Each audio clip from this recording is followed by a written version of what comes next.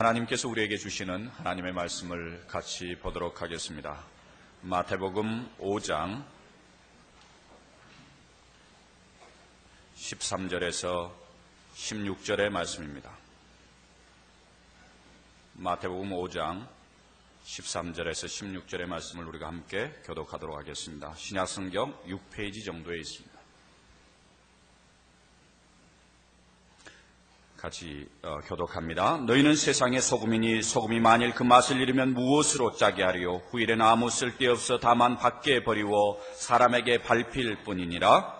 너희는 세상의 빛이라 산 위에 있는 동대가 숨기지 못할 것이요. 사람이 등불을 켜서 말 아래 두지 아니하고 등경 위에 두나니 이러므로 집안 모든 사람에게 비치느니라. 이같이 너희의 빛을 사람 앞에 비치게 하여 저희도 너희 착한 행실을 보고 하늘에 계신 너희 아버지께 영광을 돌리게 하라. 아멘. 읽어드린 이 말씀을 중심으로 해서 세상의 소금, 세상의 빛이라는 제목으로 우리 욕하는 목사님께서 말씀을 전해 주시겠습니다.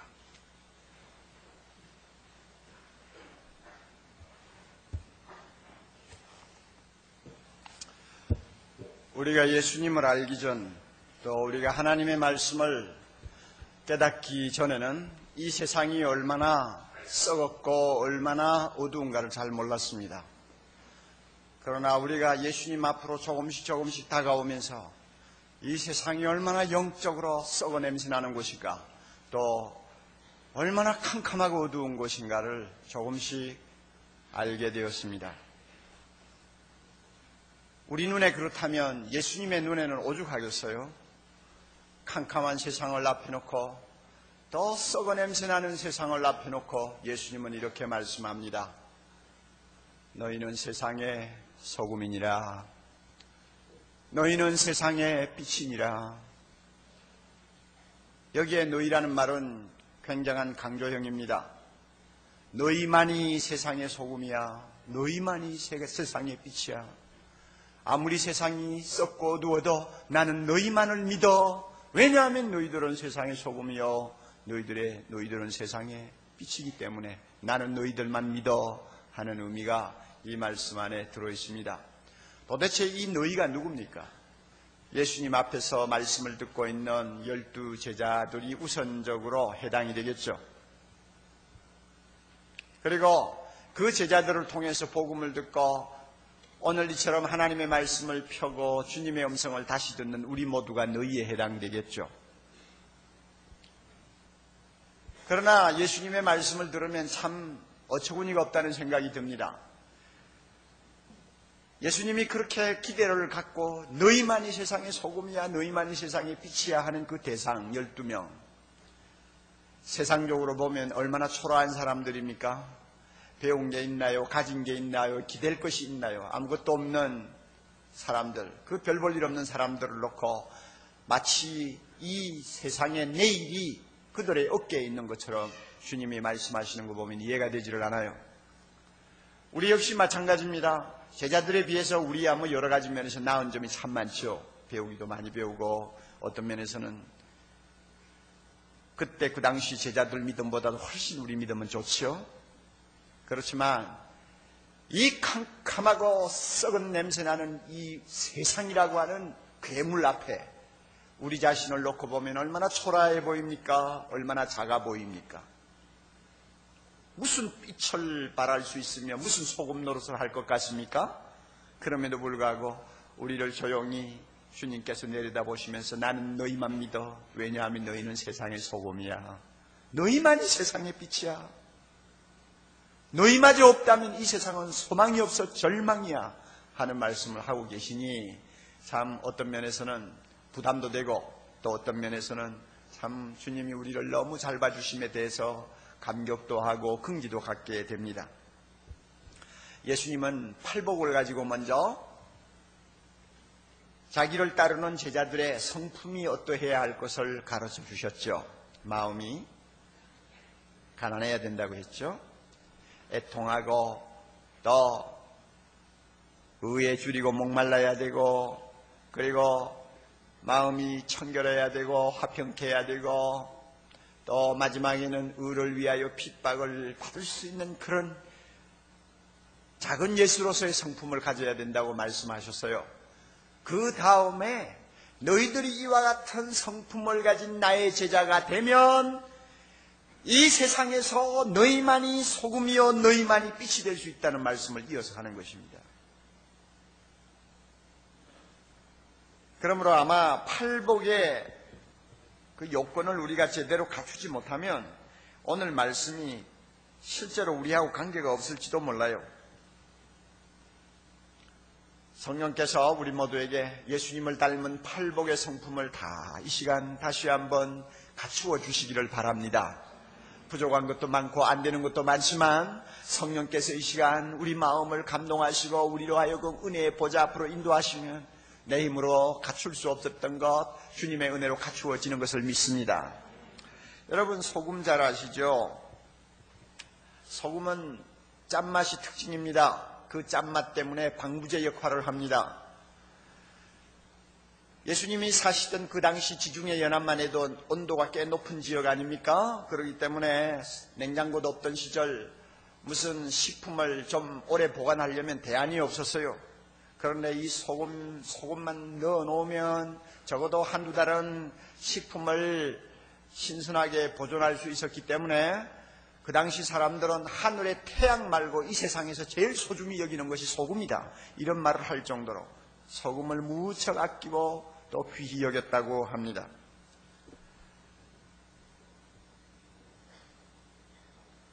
썩지 않게 하는 이 방부제의 특성, 이것은 마치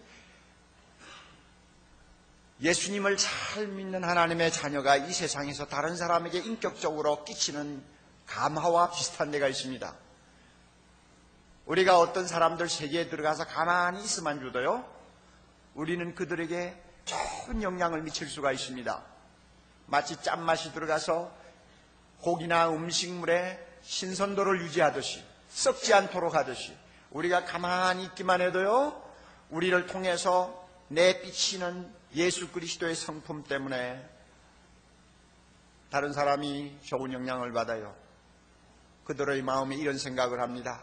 야, 어딘가 다른 데가 있구만. 나도 좀 저래봤으면 좋겠네.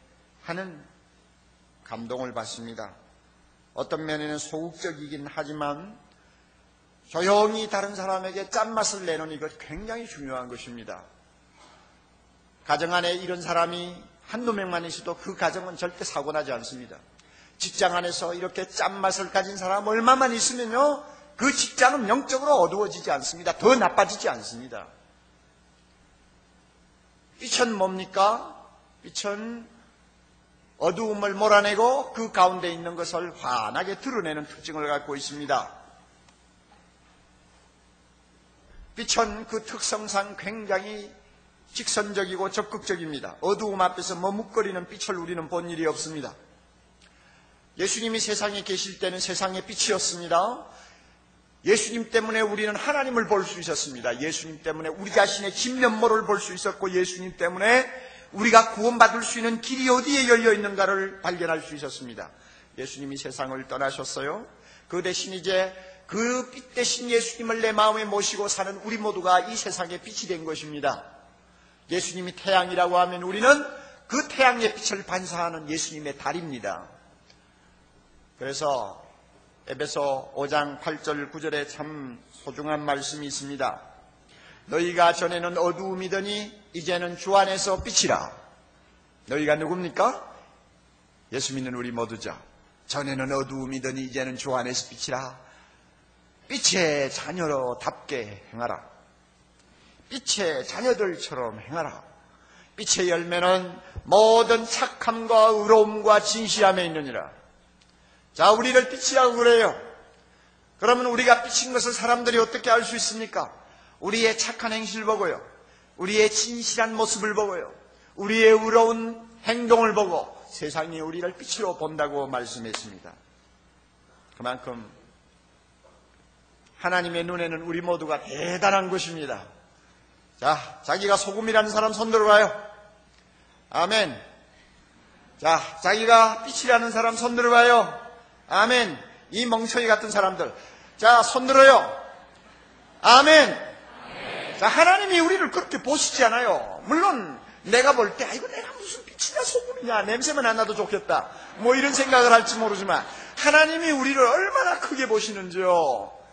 너희만이 세상의 소금이야. 너희만이 세상의 빛이야. 너희 없으면 나는 소망도 없어. 이 세상에 소망도 없어. 나는 기대도 하지 못해. 하는 말씀을 하시지 않아요. 다시 한번 소금이라는 사람 손 들어보세요. 자, 빛이라고 하는 사람 손 들어보세요. 할렐루야! 할렐루야! 자, 이렇게 우리가 빛과 소금이라는 사실을 우리 스스로 확인했으면 이제 좀 더 구체적으로 어떤 영역에서 우리가 소금의 역할을 할까, 빛의 역할을 할까 하는 것을 좀 검토할 필요가 있습니다. 세 가지로 말씀드리겠어요. 첫째는 이 세상에서 도덕적인 우위를 지키는 일에 빛과 소금이 되어야 합니다. 도덕적인 우위라는 말 좀 어렵기는 합니다만 여러분 다 이해하실 거예요. 우리가 선악을 앞에 놓고 이것은 선이다 저것은 악이다 하는 것을 분별, 분명 하게 분별할 수 있는 안목을 가진 사람을 일컬어서 도덕성이 높다 이렇게 말합니다. 그리고 선과 악을 놓고 선을 선택하고 선을 추구하기를 원하는 사람을 보면 도덕성이 건전하다 우리는 이렇게 칭찬합니다. 그러나 선악인지 아니 선인지 악인지를 제대로 분별하지 못하고 흐리멍덩한 데다가 잘못된 것 선택해서 따라가는 사람 보면 도덕성이 낮다고 말하기도 하고 도덕성이 실종된 사람이라고 말을 하기도 합니다. 우리 예수 믿는 사람은 이 세상 사람들에 비해서 도덕적인 표준이 높아야 됩니다. 도덕적인 우위를 유지해야 합니다. 이것이 대단히 중요합니다. 이것 없다면 우리는 뭐 빛이고 뭐, 뭐 소금이고 우리는 입에 올리는 것 자체가 부끄러운 일이 될 것입니다. 요즘 가만히 보면 특히 젊은이들 세계에 어떤 경향이 있는가 하면 이 도덕적인 표준을 자꾸 하향 조절하려고 하는 경향이 있어요. 그 좋은 예가 우리는 안 그러겠지만 밖에 있는 젊은이들 보면 절대라는 말이 붙는 걸 싫어해요. 절대 신? 무슨 절대 신이냐? 절대 선? 요사의 세상에 무슨 절대 선이 있냐? 절대 악 하면 아니 뭐가 절대 악이냐? 이렇게 거부 반응을 일으킵니다. 왜냐하면 도덕적인 표준을 자꾸 끌어내림으로써 자기가 부담을 덜 느끼게 되고 또 그만큼 편하게 생각할 수 있기 때문입니다. 그래서요, 각자가 제 좋은 대로 도덕성을 디자인하려고 합니다. 심지어 절대 선이신 하나님을 놓고도 필요하면 나의 하나님 하고 부르지만 필요 없다고 생각하면 내가 하나님 하는 건방진 소리를 하는 것이 오늘날 현대인이에요.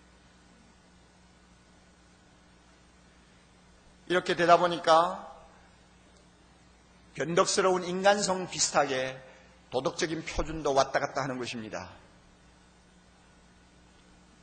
여러분 피부로 느끼지 않습니까?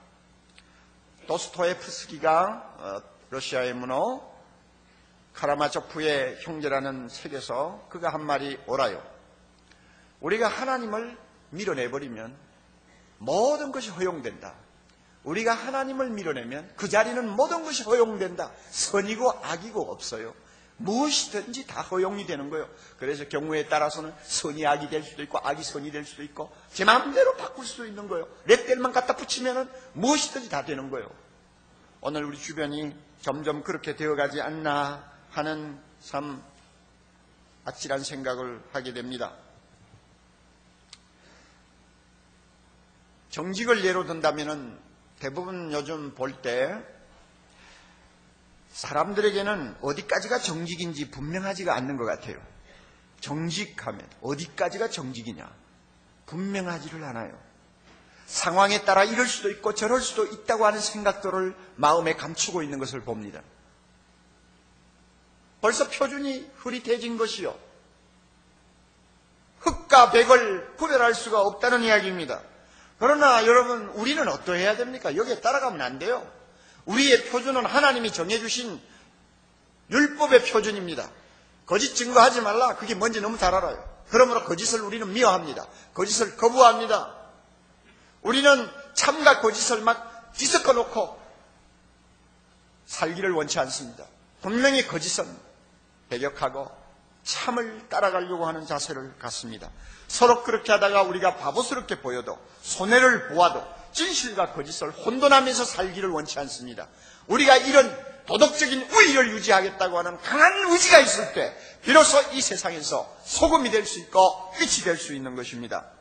조지 바나라고 하는 리서치 어, 센터가 미국에 있습니다. 주로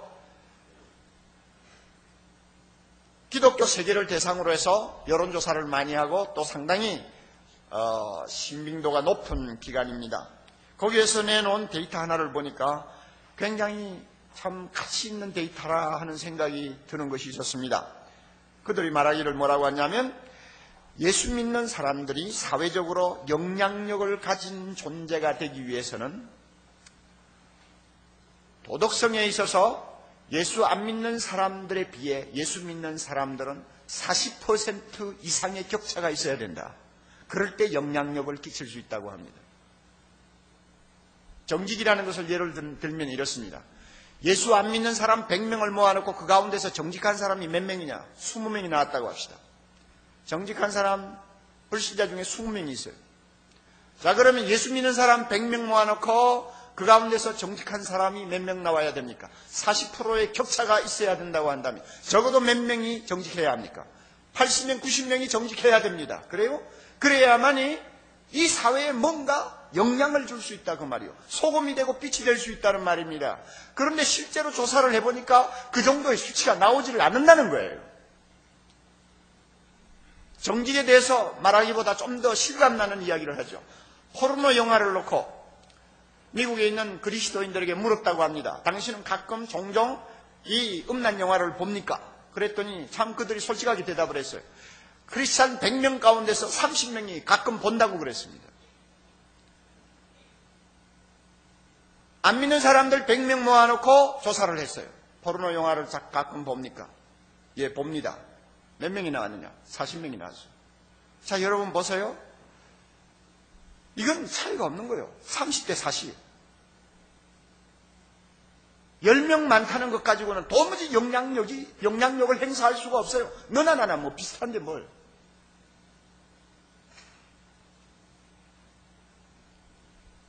우리가 우리 주변을 돌아보면 이렇게 비슷해요. 그리고 약간 나은 것 같아요. 이것 가지고는 도덕성을, 도덕적인 우위를 유지할 수가 없어요.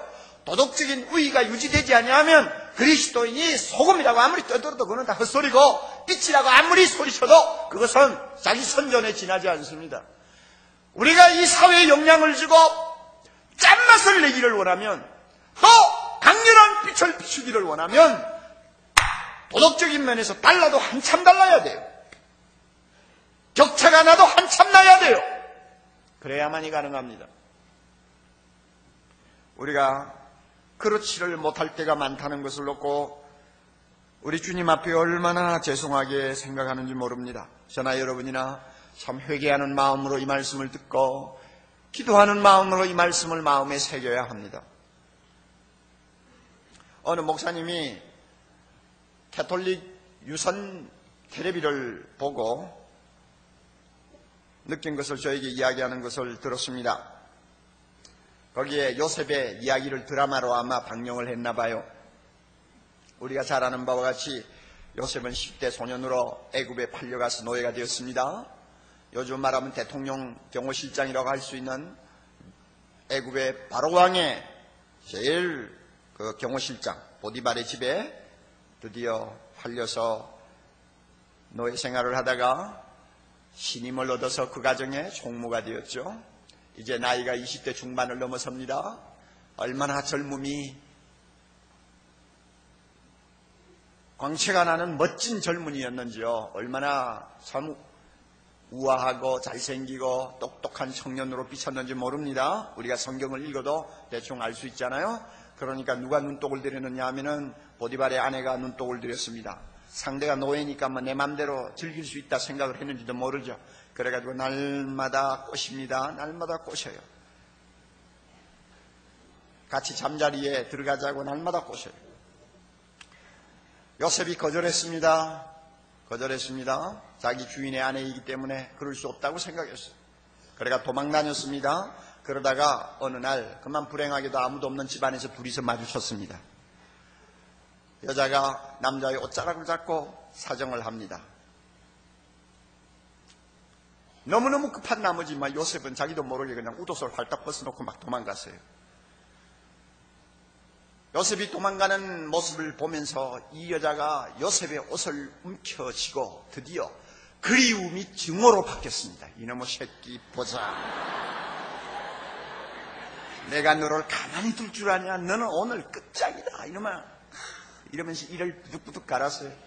저녁에 남편이 돌아오기를 기다렸습니다. 드디어 남편이 오자마자 옷을 내놓으면서 당신이 말이죠. 어, 돈을 주고 사온 히브리 소년 저 요셉이라는 사람 말이야. 어?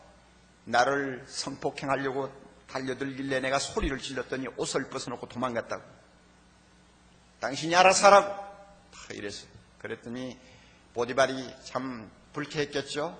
그래서 요셉을 감옥에다 집어넣었습니다. 그런데 이거는 있을 수가 없어요. 감옥에 넣을 수가 없어요. 주인의 그 집안 주인의 아내를 범하려고 한 사람이면 감옥이 필요 없어요. 그 자리에서 당장 죽여요. 그러면 노예인데요. 뭐, 뭐 재판이 필요합니까? 당장 죽여버리는 것이 그 당시의 상황이요. 살려놓을 수가 없어요. 보디발의 아내로서는 당장 요셉을 죽인다고 생각했는데 아니, 남편이 살려가지고 감옥에다 집어넣는단 말이에요. 그러니까 화가 났어요. 그날 밤에 남편을 걸고 넘어졌습니다.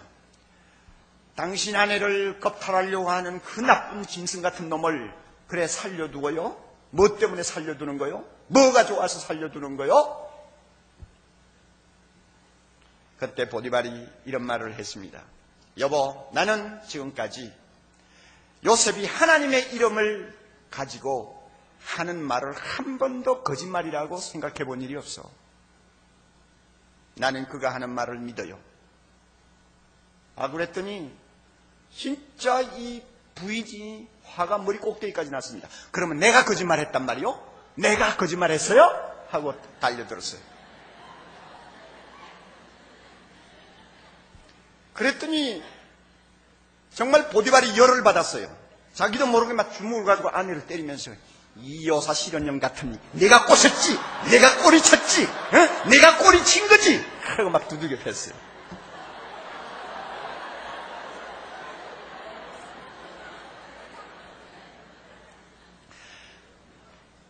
굉장히 실감나는 사실 묘사라고 저는 생각을 합니다.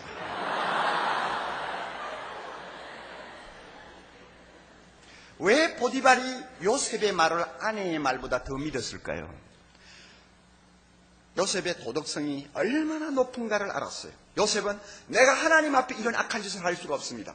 요셉의 도덕적인 표준은 하나님이었어요. 사람도 아니고 상황도 아니었어요. 오직 하나님이요. 평소에 보디발이 그것을 보고 있었습니다.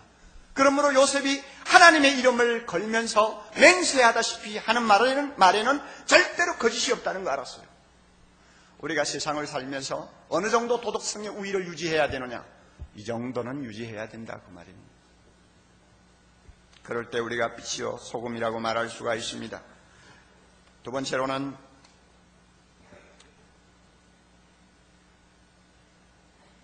복음을 담대히 전해야 합니다. 복음은 그 자체가 부패를 막는 소금이요. 예수 그리스도의 십자가의 복음은 그 자체가 어두움을 몰아내는 빛입니다. 그러므로 우리가 언제 가장 짠맛을 낼 수 있느냐? 전도할 때입니다. 우리가 언제 강한 빛을 불신자도로 세계에 비칠 수 있느냐? 예수 믿으라고 말할 때입니다. 이걸 꼭 기억하세요. 뿐만 아니라 전도는 소금을 많이 만들어내는 생산 작업입니다. 한 사람이라도 더 예수 믿게 했다면 그 사람이 소금이 되는 거 아니에요. 한 사람이라도 더 전도하면 그 사람이 빛이 되는 거예요. 그래서 예수 믿는 사람이 늘어날수록 이 땅에는 소금이 많아지고 빛이 많아지는 것입니다. 이것만큼 대단한 게 어디 있어요? 지난 50년 동안 우리 우리 한국 교회가 복을 받은 것이 참 많은데 그 가운데서 진짜 복을 받은 것이 뭐냐? 교회 부흥입니다. 50년 전만 해도 한국 교회에 있는 사람이 불과 30만 명밖에 안 됐어요. 그러나 10년 지나니 300만이 되고 조금 더 지나니 800만이 되고 얼마나 많은 사람이 예수를 믿고 돌아왔습니까? 물론 이렇게 여- 수, 수적으로 많아짐에 따라서 냄새나는 일들도 가끔 있었습니다만 그것은 어디까지나 한모퉁이의 일이고 대부분의 성도들은 사회 이곳저곳에서 빛이 되려고 노력했고 소금이 되려고 혼신의 힘을 다 기울이고 기도하며 산 것 우리가 잘 압니다. 예수 믿는 사람만큼 회개하는 사람 봤어요? 예수 믿는 사람만큼 양심을 바로 가지려고 애쓰는 사람 봤어요? 예수 믿는 사람만큼 하나님을 두려워하는 사람 봤어요? 대다수의 그리스도인들은 오늘도 이 땅에서 소금이요 빛이 되고 있습니다. 그러므로 우리 열심히 전도해야 돼요. 전도해서 더 많이 만들어야 돼요. 전 국민을 복음화시켜서 다 하나님 앞에서 빛이 되고 소금이 되도록 해야 합니다. 이 일을 위해 우리가 앞장서야 돼요. 그럴 때 우리가 빛이 되고 소금이라고 할 수 있습니다. 세 번째로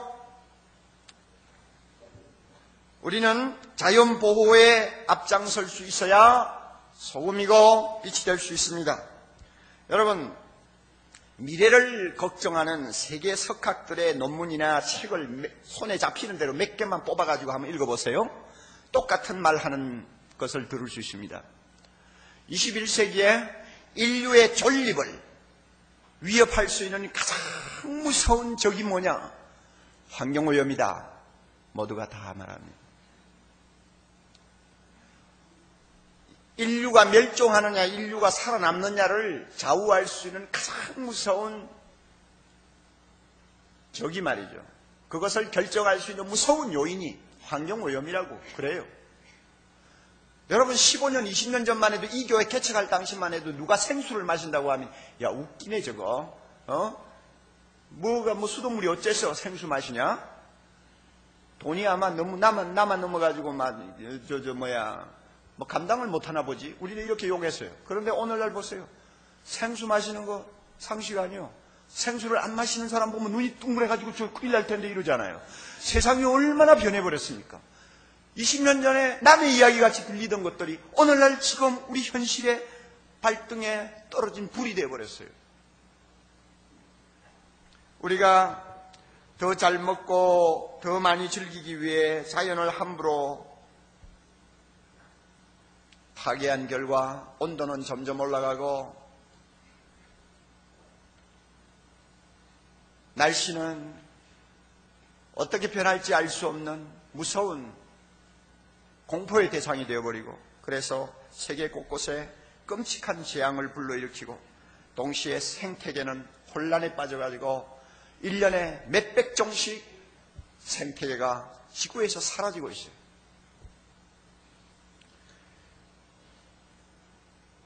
저는 우리나라만큼 자연 파괴를 예사로 하는 나라가 또 있는지 모르겠어요.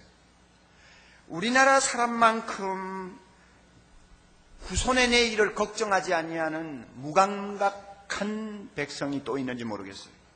내 하나 잘 살다 가면 그만이다 하는 시기인 것 같아요. 서울 변두리에 있는 가수원 이야기 들으셨죠?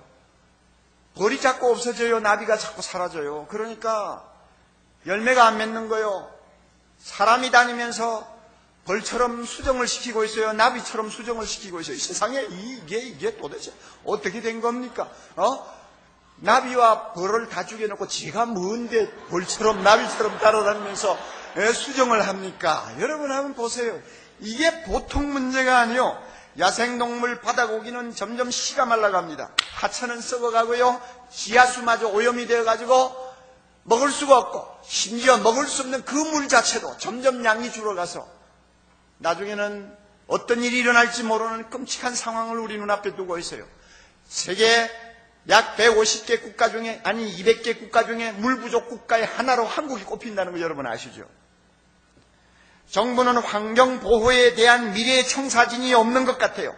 없는 것 같은 것이 아니라 없어요, 아예. 환경부만 만들어놨지. 아무 소용이 없는 정부 기구만 가지고 예산만 쓰고 있어요. 경제 논리에 끌려다니느라 손바닥만한 땅과 바다를 방치해 두고 있어요. 지난 6년 동안 준농림지 개발을 허용해가지고 전국이 어떤 꼴이 되었습니까? 마치 일대가 달려들어서 갈기갈기 찢어놓고 물어 뜯어놓은 짐승의 사체처럼 전 국토가 엉망이 되어 가잖아요. 그럼에도 불구하고 가만히 못 본 채 하고 있다가 신문이 떠드니까 뒷북이나 치고 말이죠. 이게 오늘날 한국 정부요.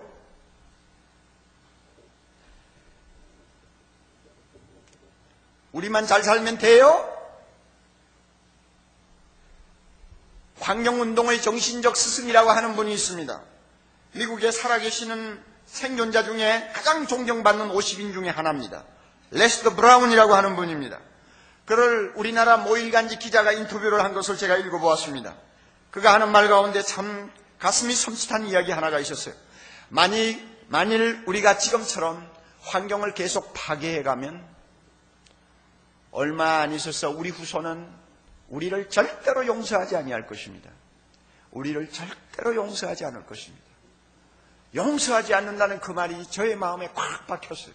맞았어. 나라도 용서하지 않아. 나라도 용서하지 않아. 앞으로 20년, 앞으로 30년 후 우리 후손들이 우리가 함부로 파괴하고 오염시킨 자연으로 인해 온갖 재난을 겪으며 고통을 당할 때 그들이 조상들의 무덤에 와서 침을 뱉지 않는다고 누가 장담하겠어요? 자기만 잘 살다 갔지 후손의 행복은 조금도 생각하지 아니한 짐승보다 못한 조상이라고 그들이 저주하지 않는다고 누가 장담할 수 있습니까? 오늘 우리가 이런 저주를 받을 수 있는 짓들을 하고 있습니다. 이것이 우리나라 사람들이요. 그러므로 여러분 지금부터라도 우리 모두는 파괴되어가는 자연 앞에 심각한 고민을 안고 실험해야 합니다. 하나님이 6일 동안 창조하셔서 우리에게 남겨주시고 하사하신 이 아름다운 자연 농산, 이 하나밖에 없는 지구를 놓고 우리가 이것을 살리기 위해 보존하기 위해서 우리 자손에게 아름다운 땅을 물려주기 위해서 내가 어떻게 해야 빛이 되고 소금이 될 수 있는가를 고민해야 합니다. 무엇보다도 여러분 자연을 사랑할 수 있기를 바랍니다. 하나님이 만약에 지금 성경을 쓰신다면 이 말을 반드시 첨가할 것 같아요. 먼저 하나님을 사랑하라. 둘째는 내 이웃을 내 몸과 같이 사랑하라. 셋째는 자연을 내 몸과 같이 사랑하라. 틀림없이 삽입할 것 같아요. 자연을 사랑합시다. 한 포기의 풀도 사랑하는 눈으로 봅시다. 별것 아닌 잡목이라도 마치 자녀를 쓰다듬듯이 쓰다듬어 주면서 사랑합시다. 조그만한 다람쥐 한 마리라도 내 자식을 보듯이 그것을 보면서 아끼고 소중히 여깁시다. 자연을 사랑해야 이 자연을 우리가 살릴 수가 있습니다. 이 자연을 더 이상 괴롭히지 아니할 수가 있습니다. 여러분 욕심을 좀 이제는 버립시다. 사치하지 맙시다. 모피를 수입하는 제일 첫 번째 나라가 어디지요? 어느 나라요? 기가 막힌 이야기죠. 이 조그마한 나라에서 왜 그 모피를 수입합니까? 날씨가 뭐가 그리 춥다고 짐승 가죽을 뒤집어 쓰고 돌아다녀요? 예?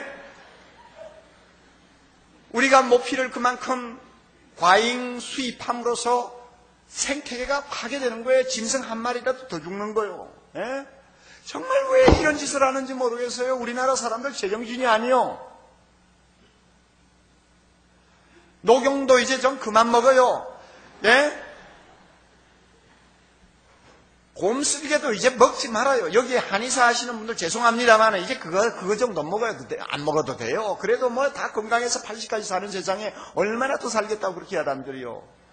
우리가 그런 걸 자꾸 탐함으로써 생태계가 파괴돼요. 야수라도 우리가 멸종을 시키면 안 됩니다. 야수가 멸종되면 그만큼 생태계는 균형을 잃어버립니다. 우리의 사치하는 우리의 습관을 버리고 좀 절제하고 검, 검약하고 우리가 우리 자신을 좀 더 적게 먹고 적게 쓰는 방향으로 우리가 노력을 해야 합니다. 너무 큰 집 가지려고 하지 마세요. 30평에 사나, 40평에 사나, 50평에 사나, 살다 보면 똑같습니다. 30평에 살던 사람이 50평에 산다고 해서 잠이 잘 오는 것도 아니고요. 50평에 사는 사람이라고 해서 특별히 마음이 평안해가지고 천국을 이루는 것도 아닙니다. 살아보세요. 아무것도 아니요. 그럼에도 불구하고 식구는 불과 두 명, 세 명밖에 안 되면서 왜 집을 자꾸 늘려요? 우리가 열 평을 더 늘려서 살면 우리가 그만큼 이 땅, 이 나라 좁은 땅을 열 평을 잡아먹는 거예요. 그것을 유지하기 위해서 넓은 집을 유지하기 위해서 기름을 얼마나 떼야 됩니까? 여러분 물을 얼마나 써야 됩니까? 왜 그렇게 낭비하면서 자연을 파괴하고 있어요? 우리 그런 짓 하면 안 돼요.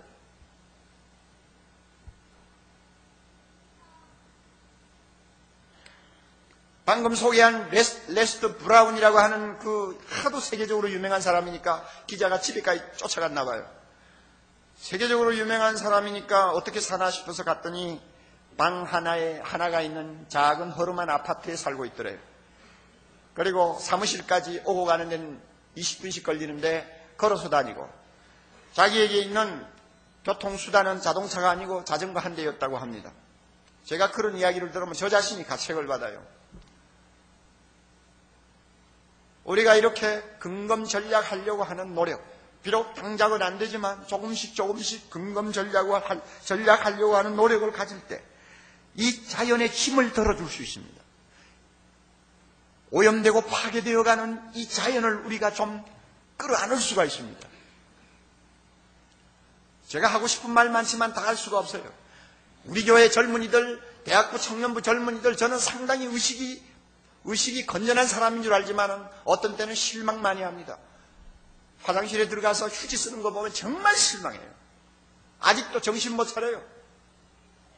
사용할 만큼 사용하는 게 아니에요. 심심하니까 둘둘 말아요. 말아가지고 심심하니까 뒤집어 쓰고 엮고. 여러분, 이런 의식을 가지고 살고 있어요. 이래가지고 여러분, 분명히 제가 예언합니다. 저 같은 사람은 불과 1, 20년 안에 다 가요.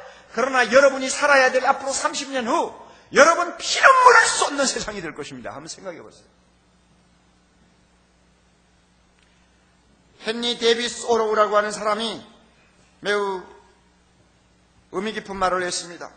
간소화하고 간소화하십시오. 하루에 세 끼를 먹는 대신 필요하면 한 끼만 먹으십시오. 백 가지 요리를 다섯 가지로 줄이십시오. 그리고 다른 일도 그런 식으로 줄이도록 하십시오. 자연 보호에 앞장서는 빛과 소금이 될 수 있기를 바랍니다. 그래서 우리가 이 위급한 상황에서 우리가 해야 될 역할을 찾읍시다. 지금까지 세 가지 여러분에게 말씀드렸습니다. 도덕성 우위를 유지하는 데 빛과 소금이 되자고 했습니다. 복음을 전하는 자로서 빛과 소금이 되자고 했습니다. 그리고 자연보호에 앞장서는 자로서 빛과 소금이 되자고 했습니다. 우리 신부는 감출 수가 없어요. 주님이 말씀하시지 않았어요?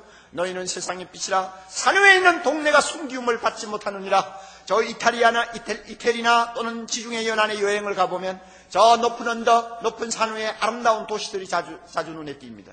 멀리서 보면 너무나 아름다워요. 밤에는 더 휘황찬란합니다. 숨길 수가 없어요. 우리 예수 믿는 사람은 우리 자신을 숨기고 가만히 있을 수가 없다고 합니다. 항상 노출되기 마련이요. 조금만 뭔가 잘하면 금방 소문이 나버려요. 조금만 뭔가 잘못하면 금방 냄새가 나요. 그렇잖아요. 우리 예수 믿는 사람은 우리 자신을 이렇게 감추어 놓을 수가 없어요. 그러므로 우리는 이 노출성을 최대한 이용해야 합니다. 좋아! 어디 가도 우리 자신을 숨길 수가 없다면 빛으로서 살자, 소금으로서 살자, 그러면은 뭐 굉장한 파급 효과를 우리는 누릴 수가 있다는 것입니다. 아멘. 그러므로 우리가 빛으로서 소금으로서 아름다운 환상을 가집시다. 우리나라를 도덕 선진국으로 만들겠다는 환상을 가집시다. 우리 국민 전부를 복음화시키겠다는 환상을 가집시다. 그리고 이 땅을 아름다운 금수강산으로 다시 만들어 우리 후손에게 잘 사는 나라로 넘겨주겠다고 하는 꿈을 가집시다. 그렇게 함으로써 이 세상 사람이 우리를 보고 하나님께 영광을 돌리는 놀라운 일들이 우리 앞에 일어날 수 있기를 바랍니다. 할 수 있습니다. 우리만 잘하면 할 수 있습니다. 사랑의 교회 3만 명만 빛이 되고 소금이 된다면 얼마든지 할 수 있습니다. 환상을 가지고 우리 모두 다시 세상을 향해서 달려나가는 은혜가 있기를 바랍니다. 다 같이 기도하겠습니다.